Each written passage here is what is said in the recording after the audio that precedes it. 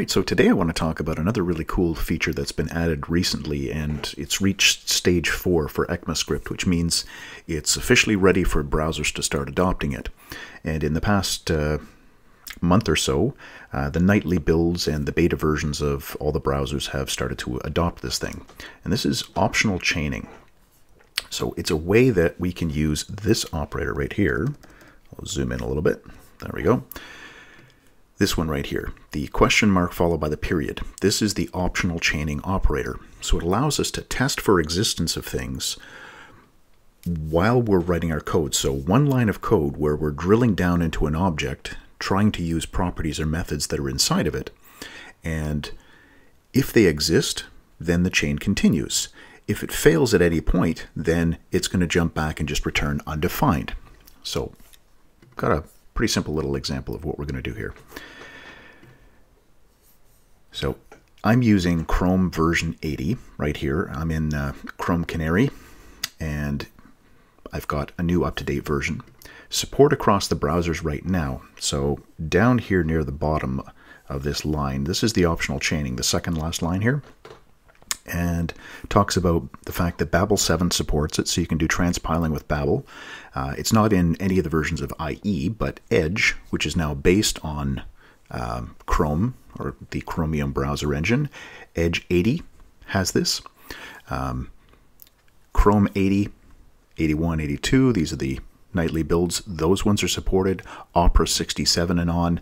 Firefox, none of the production versions of Firefox, but the beta and the nightly versions, those ones both have it. So I'm going to show you this page running in all three browsers, in Opera, Firefox, and Chrome, just to show you that it's working in those three in the nightly builds. Okay, so what is optional chaining?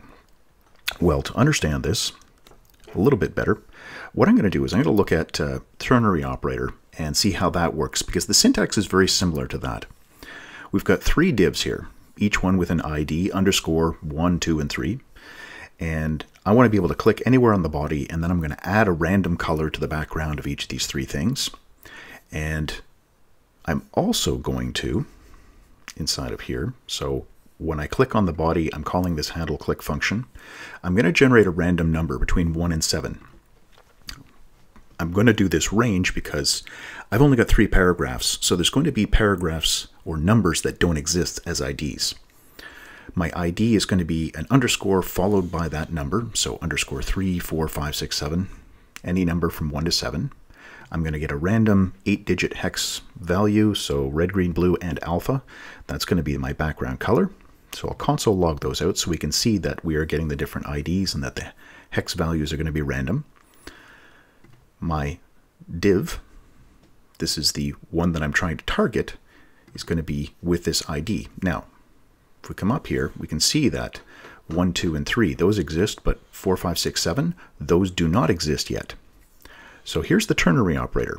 We're checking to see if div exists. Basically, if this thing is not undefined, then we're going to set its background color to hex.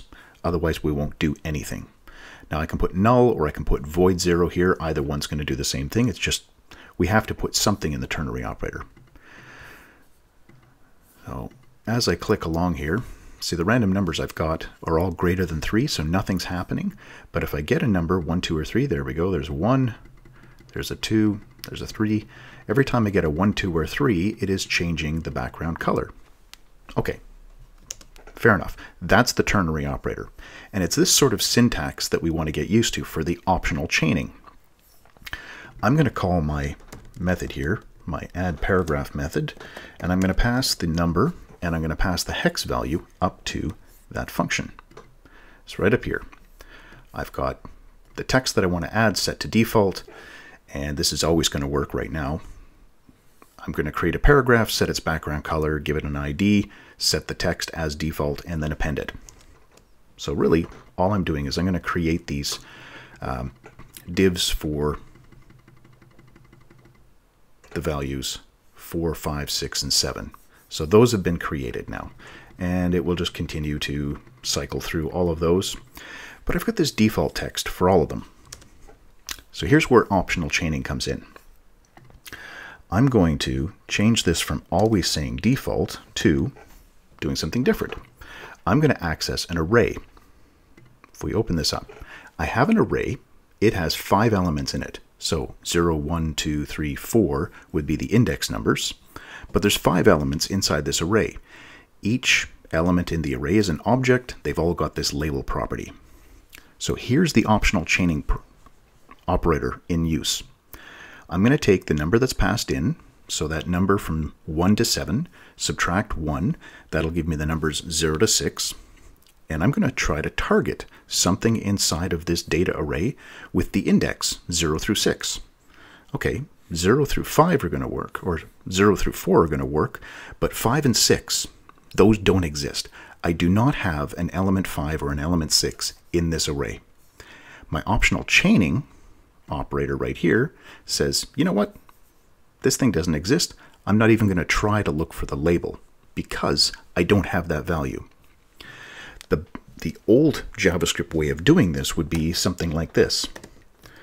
So either with a ternary operator or an if statement, I would have to say, okay, if there's a data array, and if data array has an element, this, then I want to do something with it. So I have to check for the existence of both those things. Then I can say text is going to be equal to data array num minus 1 dot label. So I can do ternary operator, or it's probably going to be better eh, than having nested ternary operators to use the if statement. But this is sort of the old way that we had to do this, which was a bit tedious. Now I can stop and pause at any point along the way within my chain to see, hey, is this thing really in existence? Do I have an index with this number? Or in an object, do I have that property? And if I do, great, give me the label. If it doesn't exist, this statement right here, this expression is going to return undefined to text. So now I can check, all right, if it's not undefined, if it does exist, then I'll do the rest of this. So on our page here, oh, sorry, let's save that change. So now we're checking to see if it exists. Now I should get 1, 2, and 3, and there's 5, and there's 4. And that's all I will get. When 6 and 7 come up over here, the 7s and the 6s, those do not exist here. I don't have the element 5 and the element 6 in my array, so I'm not getting that. Do the same thing with an object. So here I have, comment that one out and uncomment this one. Here I've got an object, and the object has a property 4 and a property 7. Now I've got 1, 2, and 3 up in the page, but here I'm checking to see, okay, inside data object, is there something with the property name 4, 5, 6, or 7. If it exists, get the label property. So similar to what we were doing with the array. There we go. There's the 4 at the bottom here, and here's the number 7. So I've got 1, 2, 3 that existed on the page. 7 existed when this line of code ran. Yep, we've got the 7, so it created the 7, and then the 4 existed, so it created that. So we're optionally checking inside of this object to see if that property exists, and if it does, great, we're moving on. Now, I've got couple of other properties that I added in here. So there's a, a function or a method called m. There's another property called top, just to show a little bit deeper structure, and just to show with a method we can also use these things. Here, I'm checking to see inside of data object, is there something called top? And if there's something called top, is there something called mid? If there's something called mid, is there something inside that called deep? So we're drilling down here. We're looking inside of data object to see if top exists. If it does, we're going on. If it does, we're going on. If it does, we're getting that value. So we're going all the way down here. And there we go. There's the one, two, three. It existed, so we got it. Anytime, there we go. There's another 4, so that wasn't in the one, two, three originally, so there's the one, two, three showing up again. And this works. If I change this to something else, top level, okay, I don't have something called top level here, so this should console log out undefined. We should get an undefined back from here. Not an error, but undefined.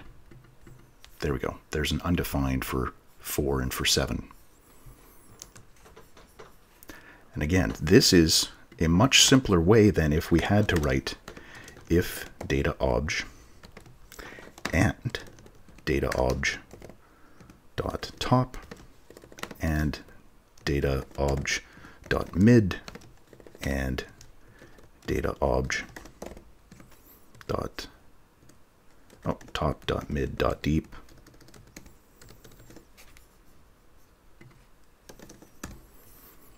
So you'd have to check every step along the way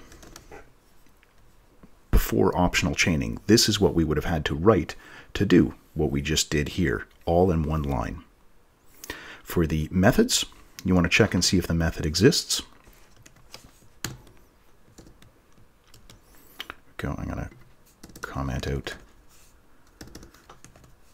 these ones. So the M and the F. We're looking inside of data object for a method called m and a method called f. m exists, but f does not.